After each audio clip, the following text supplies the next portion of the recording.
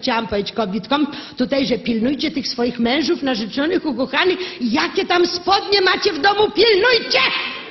Bo teraz te rosy, te pornosy, te wideoklipy, te rozbieranki, gigli-migli, to wszystko do tego telewizora u nas leci. Ona tu telefonuje, tam już goła czeka, cholery można dostać. Tym chłopom się wełbach poprzewracało. Siedzi taki przed tym wideoporną, nam się tam wygina, pokazuje, włazi na drabinę, kładzie do wody, potem włazi na meble, psuje na meble. Żona w drugim pokoju czeka, a on tę małpę do rana ogląda, no. Mówię wam, kobiety, pilnujcie tych swoich mężów, bo teraz takie czasy, że nawet najstarszy koń cholera chce brykać, skikać, całować się. Dajcie mi święty. Ja wam tam się pośmieję, ja wam się pośmieję. Wszystkie te chłopy takie same. Ja nie mówię tego z teorii, tylko z praktyki. Mój stary to samo. 30 lat jak gołąbki gruchaliśmy od rana do wieczora. Co pan się śmieje?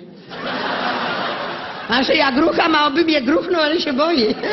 Ja wiem, wszyscy panowie tak mówią, ale naprawdę bardzo dobrze nam się żyło. Raptem któregoś dnia sprowadziła się na naszej kamienicy taka ruda, młoda wdóweczka.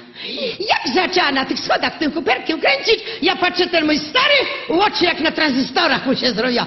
Wąsika pokręca, przy goleniu rol, rola, rol, rola, nuci, a już 10 lat nie nucił. Aha. Ale to jeszcze nic, raptem ona wyjeżdża na wczasy, ta gaśnica domowego ogniska przysyła do niego list. Jak 400 lat Poczta Polska z hakiem istnieje, czegoś podobnego ja na papierze nie widziałam. Ona w tym liście nazywa tego mojego starego Władysława byczkiem Fernandem. Pisze do niego w krynicy bardzo nudno, skromnie do swojej żabusi, żabusi, byczku Fernandusiu, parę słóweczek, najlepiej na przekaziku pieniężnym, no. Słyszałyście kobiety coś podobnego? To mało, że mu w głowie przewraca, jeszcze go doi na forsę tego byka głupiego starego.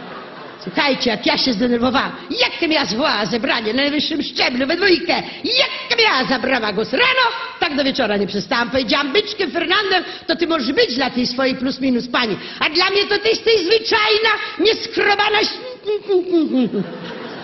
Mniejsza z tym, bo dzieci słuchają, pieniążki możesz jej posłać, ale po swoim trupie, zrozumiano?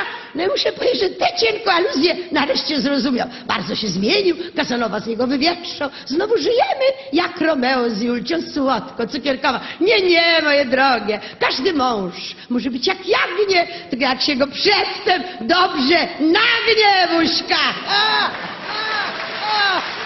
Oj, oj, chłopaki, chłopaki.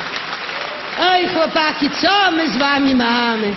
No ale już stary Fredro napisał 200 lat temu, że z mężczyznami wielka bieda, lecz bez mężczyzn żyć się nie.